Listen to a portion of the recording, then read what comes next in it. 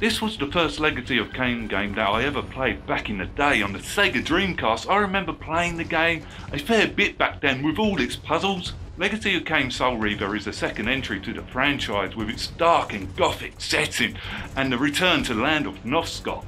I found the story to be an interesting one, following along the events from Blood Omen where Kain refused to sacrifice himself and a lot of time has passed since that game. This time around, the main protagonist is Raziel, one of Kain's top lieutenants and firstborn son of Kain, and Kain is now king of all the vampires and their clans and conqueror of Nosgoth. In short, Kain kills Raziel because he evolves faster than Kain and surpasses him, so out of jealousy, Kain executes Raziel by throwing him into the abyss. Where water is like acid to vampires it's one of the most painful deaths that vamps can be inflicted with, and in that time hundreds of years pass and then this giant squid says he brought Raziel back from the dead so he can kill Kain.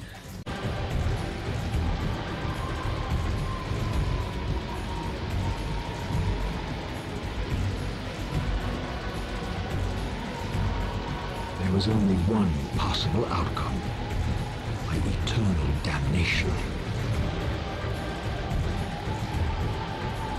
I, Raziel, was to suffer the fate of traitors and weaklings, to burn forever in the bowels of the Lake of the Dead. Cast him in.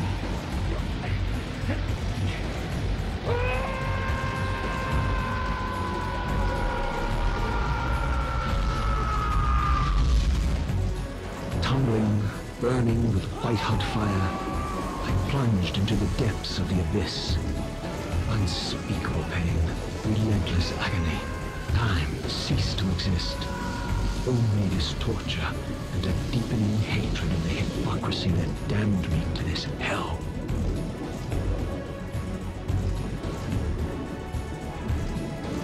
An eternity passed, and my torment receded, bringing me back from the precipice of madness.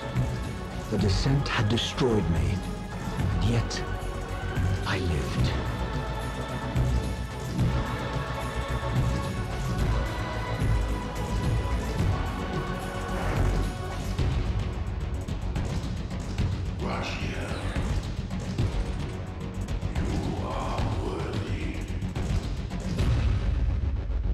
Yet not as a vampire, but a wraith.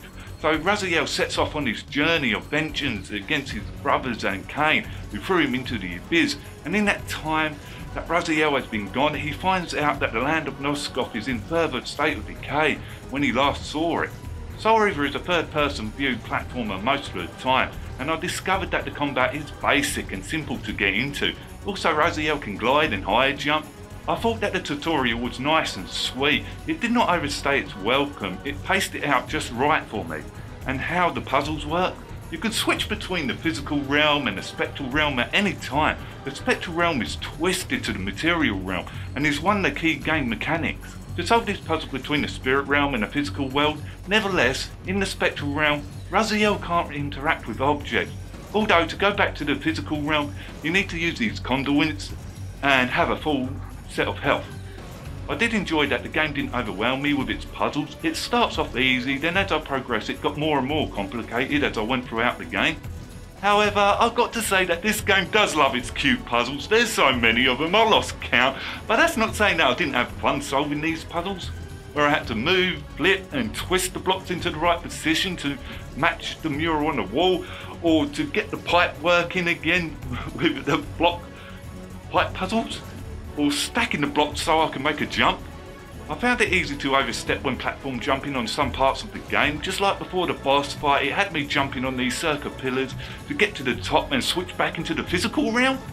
This is where I learned climbing these pillows is one of the hardest things that I had to do in the whole entire game for me. It must have took me like 10 attempts just to climb this and a lot of swearing.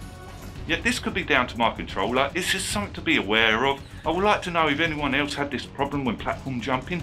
Raziel's health drains over time to encourage you to feed by killing enemies and devouring their souls in the physical world or in the spectral one. If you run out of health, you go back to the spirit world, and if you run out in the spirit world, you go back to the start of the game. But all your progress will stay the same, where Raz can't really die in this game, what made a decent change of pace for me. You can pick up weapons that you find throughout Nosgoth, and this is how you kill certain enemies in certain ways, like vampires, you've got to kill them by impaling them, and if you do not consume their soul, when you pick up the weapon again, they will get back up. It urged me to feed on their souls more often to keep them permanently down, and their body disappears after consuming their soul. And Raziel can set them on fire and use the environments to destroy other vampires. There is a good amount of enemy variety, especially on the vampire side. Each clan of vampires have different vamps that evolve into monsters or de-evolve, when most of them can't speak and just seem to go on animal instinct alone now. Like the insect vamps in the tower, what don't seem to have much thought going on apart from eat and cocoon human, but gives off an arachnid type of vibe.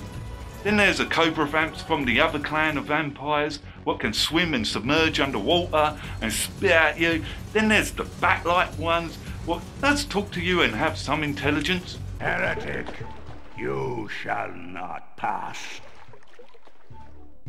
Such loyalty to one who has you guarding this outpost like a chained dog. Do you prosper on the scraps he casts you? Your insults will do nothing to blunt the agonies of your demise. Kain killed me once. Behold the result.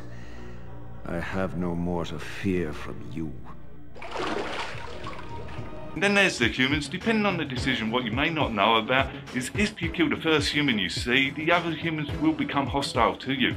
Except if you don't kill any humans, they kind of see you as a deity or something, as they drop to their knees and worship Raziel. Unfortunately, I wasn't aware of this and killed every human, so they all tried to kill me. Nevertheless, I like that the game gave me a choice here that I wasn't aware of. The average enemy AI is okay, I wouldn't call them brilliant, but they do work. It's probably down to the limitations of the time, because after about 30 seconds or so, you've seen everything what that type of enemy can do and it becomes very predictable. And after a while, the enemies do seem to respawn, like when I fell off a ledge and I had to go through some of the stage again, they respawned exactly at the same spots. Each boss fight is unique to the other, and how gruesome that Raziel's brothers have become over the hundreds of years, and the design on them are brilliant. And the last time I saw them was at the game's intro. It's like, how did they start from that and ended up like this? And the game does have a good explanation for this. Over time, vampires evolve. It's why Kain looks so different in this game compared to Blood Omen. Merely, Raziel's brothers have kind of fallen off the deep end when it comes to evolving. And defeating them is something else. You can't go toe to toe with these guys. They're way stronger than Raziel, so you end up using the surroundings to help you out. Such as the first boss fight, it can go through fences and gates, so I had to jump over the wall and lure him to the gate where I dropped an impaling gate on top of him. I had to do this twice and then it shows a ceiling grinder. So I'm like, okay, I've got to lure him to there now and activate it. And all I could think about after this fight was how fun it was figuring out what I had to do. And then later on, I got to the top of this tower, and now I'm fighting a mutated mantis, where I set his eggs on fire and throw it back at it, and after that, I just look forward to the next boss fight. How unique they are, and after defeating a boss, Raziel unlocks a new ability like climbing walls, being able to swim, and going through gates in the spirit world.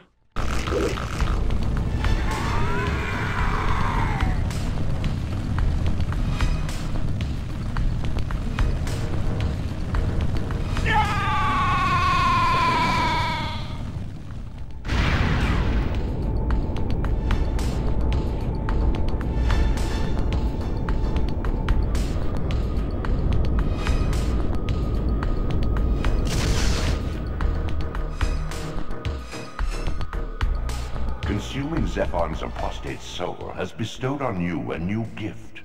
Like his vampire spawn, you're able to scale certain walls which are otherwise impassable, but only in the physical realm.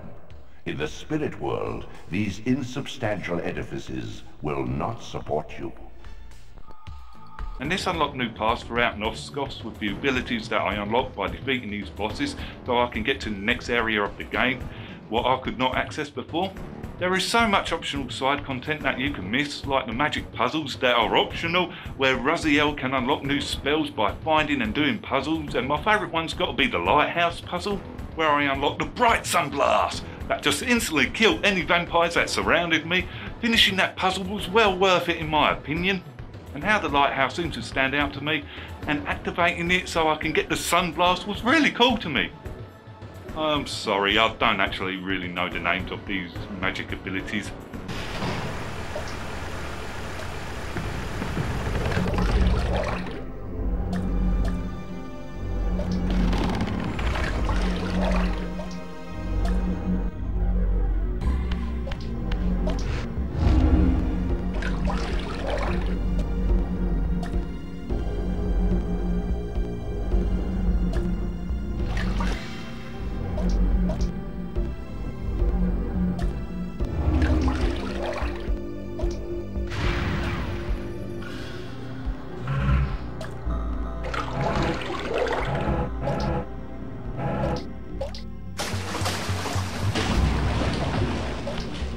I loved how the game rewarded me for exploring, where I discovered new upgrades for Raziel as well. While finding these triangle artifacts, it takes like five to get an upgrade health bar spiral. But it's also finding out how to get them as well, where some are trickier than others, where you have to do a puzzle to get them. There is also magic artifacts to find and collect that increase magic duration with the numbers that are in the corner of the screen. And unlocking that Reaver Blade after the fight with Kain, what you get by progressing throughout the story, I had some fun with this where I could shoot it like a gun or wave it in fire later on. So I could fire fireballs to set the enemy alight, and that Fire Reaver is also optional to unlock. You don't have to get it to finish the game. Although you'd be missing out on all the fun I had with it, that Fire Reaver is just... Although there is a downside, Raziel must have full health in the physical realm to use it. One hit and it disappears until you have full HP again. Yet Raziel can use this in the spirit realm regardless of his strength. Soul Reaver is a semi-open world between the two realms and the rest of the map unlocks as you get new abilities. I thought some of the level design is amazing with its gothic atmosphere, like the water area, what seems like it's a sunken city, or climbing to the top of the tower with the cobwebs everywhere with the vampire insects. As I uncovered each section of I visited, it had its own decay and feel to it, and I learned that this is what the game excels at, is that I never found it a dull moment, although there is a bit of backtracking if you want to unlock everything for Raziel. There are fast travel doorways with glyphs on them, what Raziel can walk through once activated. The only issue is what I had with this is remembering the glyphs that show to the area of the map where I wanted to go. I've got this wrong a couple of times.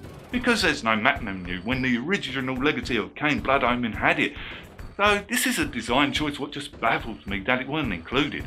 Except I was surprised that there are no load screens, not a one. When I loaded into the game, not one load screen whatsoever. And that is something what this game did really well. I have no idea how the developers pulled this off, especially on the PS1 version, and this shows how much they cared about this game, and I appreciated the hell out of it where it kept me immersed in this world.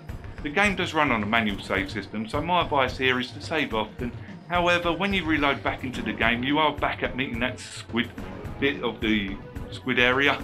But don't worry, everything you've done is still there, and all your progress throughout the game is safe. It's just that you will always be at the start of this point when loading into the game, like if you died. That's where the fast travel doorways come into place as well. There are moments where I was like, what do I do now? But lucky enough that the squid does tell me back in his lair on his platform what to do next. I think that the cutscenes are nicely done, and for characters, I think that Raziel and Kain stand out the most to me because Kain seems to be up to something throughout the whole game, and Raziel the Wraith with his monologue, what keeps going on through each section of the game. I swore I saw a glint of satisfaction in Kain's eye when the Soul Reaver was destroyed. I did not understand the game that Kain was playing, but I knew the finishing move. Oh, that squid who guides Raziel. I found the other characters to be very interesting, even the other lieutenants of Kain's armies, Raziel's brothers in arms, I think, or it's his actual brothers, it's just never actually established in the game, had exceptional voice acting. It shows how ambitious the title was at the time. I think that the graphics have improved a lot from the PS1 version, where this is a port from that. Nevertheless, not all models have been upgraded from the PS1 port. The ones that I noticed was Raziel's model is improved upon and how the game seems to be very smooth where I think that it's running at a higher frame rate. The gameplay animation is alright on the Dreamcast, it's that everything seems to have a default pose all the time, as in most cutscenes, yet this is probably down to the limitations of the time and probably where it was on the PS1 first. And I think that the animation shine the most is when I encountered enemies, they all seem to move different from each type of enemy. I think that the soundtrack is good and sums up that gothic atmosphere of Nosgoth. But that main theme is something else. Every time when that came on, I got drawn into the game even more. It's kind of like indescribable to me. It's like, yeah, I'm ready to play Soul Reaver.